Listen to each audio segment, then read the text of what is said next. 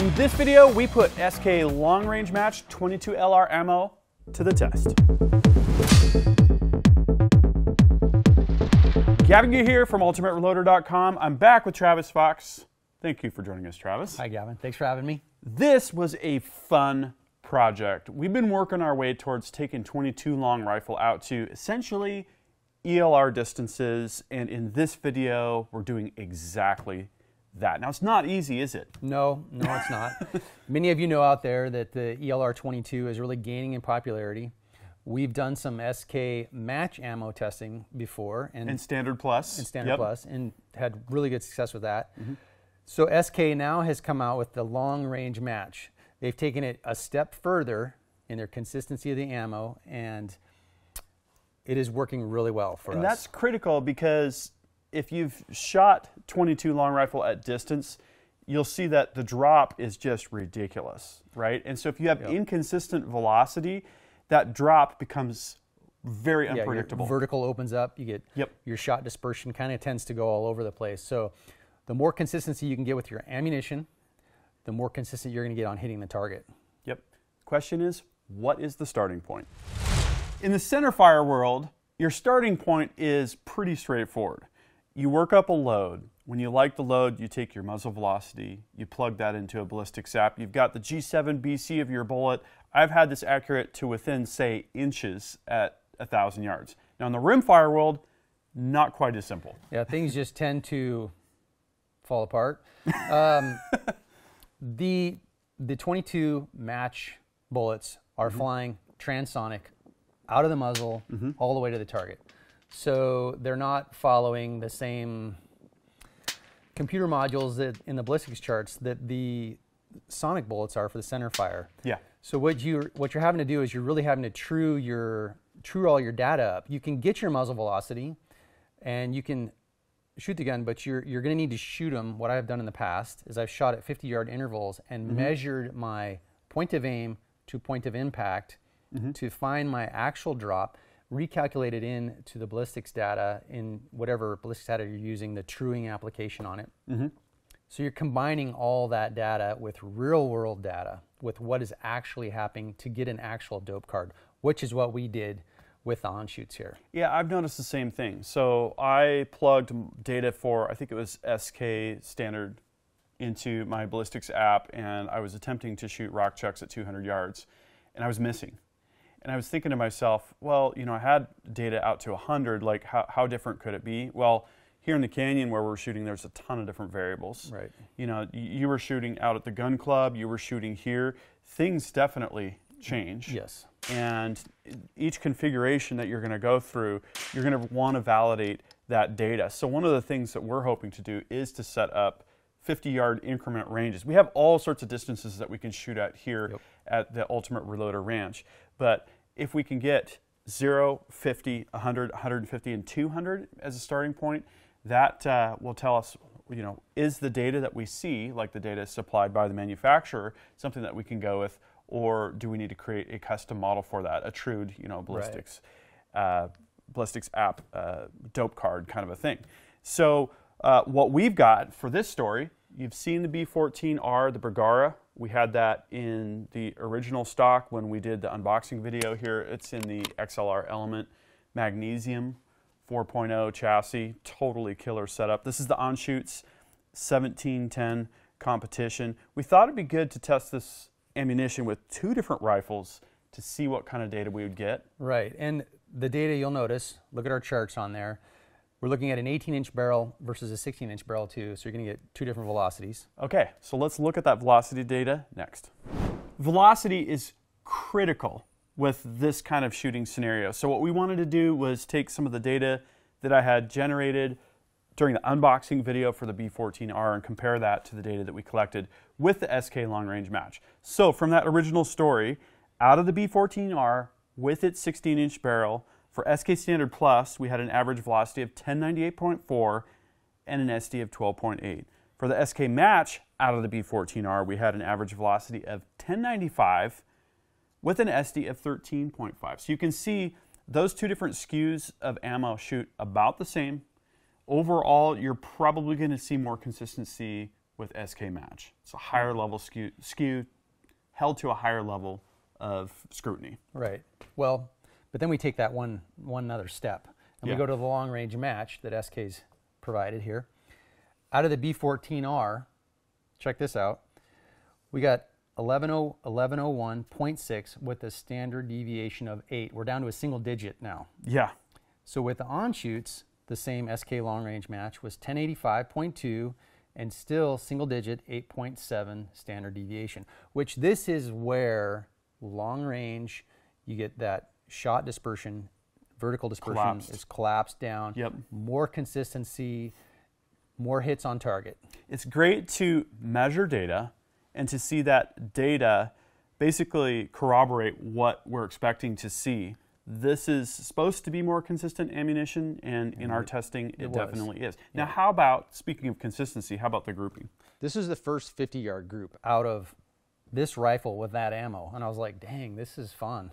That's you got to love that when you see good results from the get-go. Yeah. Okay, but the real goal was to push things out to distance, so let's talk about that next. All right, so the real test. Can we reach some steel at 400 yards? We look at the drop data, and I was figuring, oh, let's try and do five or six, but it really tends to fall on its face. I wanted to do something a little bit more realistic and mm-hmm. approachable to begin mm-hmm. with. So 400 yards it is. We do have targets in steel at 400 yards out here. And we set up on the grass next to the cabin. Gavin was there on the spotter with the drone spotter. Yeah, it's better than a regular spotter. Alarm And- going off the whole time because I was too close to the target. Yeah. Yeah, it's all good. And it was a really warm day in the afternoon. Sun was shining. Go and take my first shots on the target. And my first shot, I was way over the target. And I was like, whoa, what's going on? Mm-hmm. And Gavin's like, oh, where'd you, where to go? And I'm like, I'm way over. And I'm looking at my drop chart that I had. And I'm trying to figure out what I did. And then I realized, and this is where you have to look at your, your environmentals around you. Mm-hmm. We're shooting uphill on a warm summer day, and the updraft was massive that day. Mm-hmm. My updraft w- was getting me three and a half mils over the target. That's how much it was pulling that little bullet up. Yeah. So uh, since I was lucky enough to see the impact, quickly adjusted the scope a little bit, and we were on target Yeah. pretty quickly. Yeah, and what, what surprised me was I think you had seven successive impacts on the larger target. Is that what it was? Yeah, it's really awesome. And then at least two on that tiny little target. Yeah. You know, that, that, that target's kind of hard to hit with a center fire rifle. It was pretty fun. Um, but SK long range match, I really think due to the consistency of it, it really makes you effective on hitting those targets. Yeah, if you're going to attempt something like that with like the, you know, bottom shelf ammo, you're going to have a lot more variation in your velocity. We've seen, I think I've seen an SD of like 40 on, on really bad Yeah. rimfire ammo. And you think about what that's going to do with that vertical window Yeah. of what your expected impact is. So definitely good results with the ammo. But we have something else to talk about before we conclude, and that's more scientific data. So what was fun about this story is we took our rimfire evaluation kind of to the next level by gathering a bit more data. Rim thickness consistency and weight consistency cartridge to cartridge. So Travis took 10 different cartridges. We ran them with a dial indicator on a gauge to figure out what the rim thickness was going to be and how consistent it was going to be.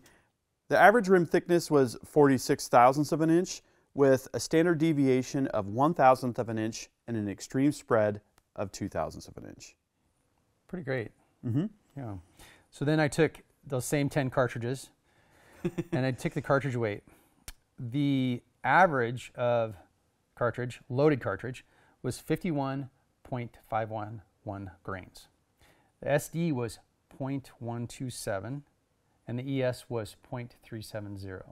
I thought this was pretty good to have basically a little over a tenth of a grain SD on the variation for the entire cartridge. The entire cartridge weighs as much as a 223 bullet. So, and you might ask, well, why did you guys measure the entire cartridge? When they're making the 22 long rifle cartridges, there's many factors that go into that. One of the things is the priming compound, and they say the priming compound can affect the velocity and the consistency. So if we weigh the entire cartridge, we're going to get an overall idea mm-hmm. of the consistency of the entire cartridge, which includes that priming cartridge, the priming compound, and the powder the charge, powder charge, consistency and then of the, the case. bullet. Yeah, you know, so so you get an overall picture of the entire component, not just mm-hmm. not just the bullet. I considered pulling the bullets and looking at them, but I I do want to look at the entire entire yeah, product. Absolutely. And this is the first time that we've collected this data in house, so we're in the process of comparing that to other sources of data we found on the internet, and then in future stories we're going to be doing these tests. Yep. And if there's something that we missed, drop a comment and we'll add that to the suggestion box for for this type of story. So in conclusion, this ammo did what we thought it was going to do. Yep. One of the things I'd like to know in the comment section mm-hmm. is I want to know from all the viewers there, what are you doing to reach these long distances? Yeah. Do you have a Charlie TARAC on? What kind of rings are you running? What kind of base are you having? What what are you doing to get these further distances? Because there's so many variables out there and so many mm-hmm. different ways to do it. Yep. So we want to hear from you guys what you're doing. We have a we have a 20 MOA base here. We have adjustable rings. Yeah. But what are you doing? Yeah, it gets it gets really extreme, and when you're getting out to those extremes, you have to have pretty extreme setups and gear. So. Yeah. yeah. Definitely. I can't wait to try more of this myself. You know, there's a lot of things for us here to look at. Rimfire is really cool. We're hoping to look at bench rest this coming year. You know, that'll be a great platform to look at the accuracy of, of, the ammunition itself. I got to shoot a bench rest rifle at the Anschutz facility underground. Thing was amazing. I shot the tightest group I've ever shot with rimfire ammo. Yeah. Totally cool stuff. We had fun with this story. If you have other ideas, both for the testing and for rimfire type stories that you'd like to see, drop a comment and we'll again add that to the suggestion box. That concludes this video, and that means it's time to wrap it up. I hope you liked this video. If you did, please give it a big thumbs up. Also, make your voice heard. If you have something to say, please drop a comment. Make sure you're subscribed with notifications because you're not going to want to miss the awesome content that is coming up. And finally, flex your reloading pride. You could look great in one of these t-shirts. We've got multiple designs at the Ultimate Reloader store. I'll see you later because I'm off to go shooting.